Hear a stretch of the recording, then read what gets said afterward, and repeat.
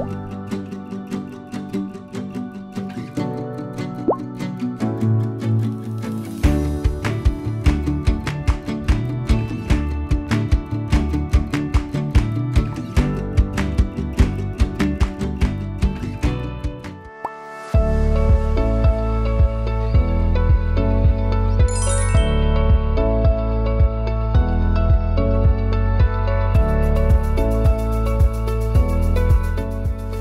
성진강 감원 대책의 모든 게 여기 좀 다 들어가 있는 것 같아요. 그렇죠? 예, 예, 그렇습니다. 그래서 수요 부분, 공급 부분 약간 차질 없이 잘 진행을 해주시기 바랍니다.